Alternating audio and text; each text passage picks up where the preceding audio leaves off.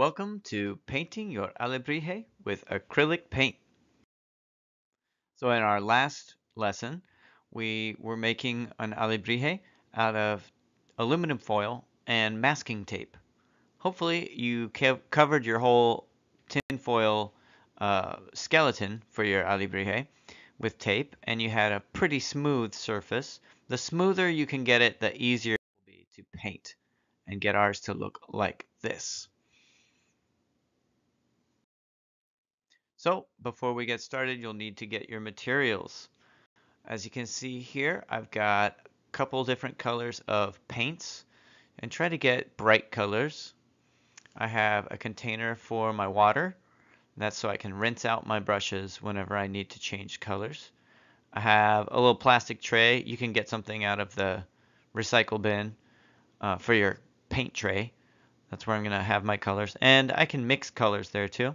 I have some paint brushes, some thin paint brushes, tiny ones, and I have uh, a paper towel. And that's for testing out my brush to make sure it's clean. Let's get started.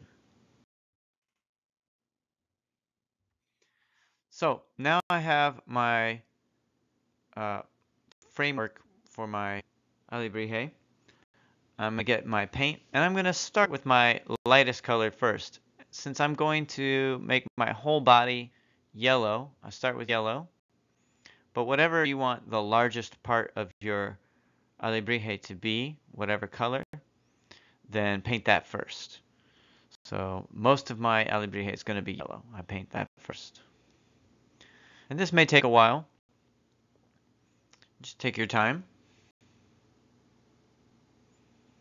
Try to cover all the cracks and Cover all the surface as much as you can. This can be kind of easy because it doesn't matter if you cover too much, right? It's fine. You can cover the whole thing. No big deal. All right, after you we're going to move on. Uh, as you can see here, I added my green next because the, the next biggest part of the body is green. And this is how I'm going to clean out my brush. I'm not going to smash my brush into the water. I'm going to actually stroke it along the bottom like I'm painting the bottom of the cup. And then I swipe it on the edge. And now I test it on the paper towel. Looks clean. I'm ready to add my next color. I'm putting in red. And where's the red going to go? It's going to go on the spikes and in the mouth. So let's do the mouth real quick. This can be kind of tricky. So I used a pretty small brush here. I just want to paint the inside of the mouth and not the outside. So be very careful. Use small touches. Oops, I went out of frame. So here we go. There's the mouth. I'm just dabbing at it a little bit at a time, making sure my brush doesn't go too much on the outside of the mouth. And let's see, let's do the spikes. And before you paint uh, a, an area that you've already painted, you should make sure that it's dry.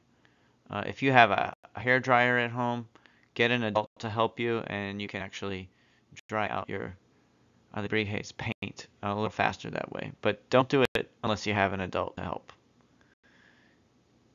Alright, so there it is. That's most of my red. Now I want to add some dots. I'm going to use the handle end of my paintbrush. So I'm going to dip the end of my brush and just touch it to the paper. There we go, we got dots. The more I touch it, the smaller the dots will get. So I might have to reload my brush with some paint. There we go. Putting those dots on. And I'm going to continue doing that. Uh, I did that for the eyes as well. I used my white paint for the eyes.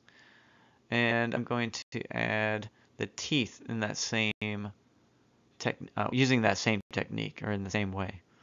Little dots on the edge of the mouth for the teeth. Again, don't forget to let your paint dry before you uh, paint over it with more paint because if you mix the paint, the, the white paint and the red paint while they're still liquidy, then it will just turn pink and you won't, it won't look like teeth. It'll just look like a watermelon.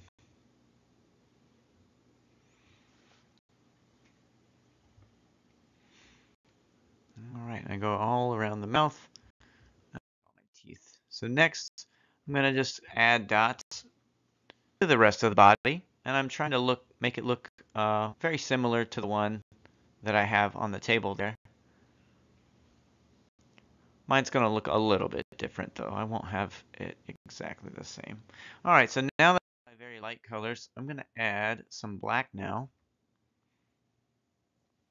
And the way I'm going to do that, first I'm going to do, I'm going to put the eyes on my Alebrije. This is fun. Get to see what your Alebrije will look like, what their expression will be. Let's see. I'll put my eye on the back of the eyeball. There we go. Ha! he looks very excited. All right, I do the eye on the other side, and then I'm going to add some details in black with just the brush. So I clean off my handle, load up my brush with black paint, and let's see, I've got, he's got a black ring around his neck, and he's got black lines on his legs. So I'm going to add, oh, and on his tail too. Let's start with the tail. These little lines, they could be stripes, or they could be wrinkles. I decided they were some of them were stripes and some of them were wrinkles. I wanted to give the front legs kind of a tiger stripe look. So these are going to be more like stripes on a tiger.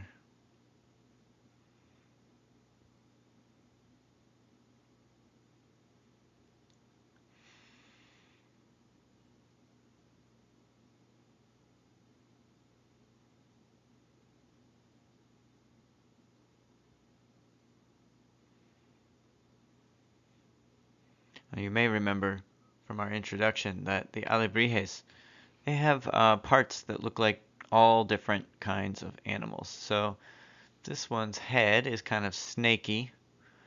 Uh, his front legs are going to be like tiger's legs, and the back legs I made look kind of chickeny. So this is what it looks like in the end. Let's compare them. There's the, the authentic Alebrije is on the in the back, the smaller one. And there's my one. I got the tiger tail. Alright, so I hope you had as much fun as I did making this. And please make sure to send me a picture. Show me what you made. I will be so proud to see what you've got. Good luck and have lots of fun.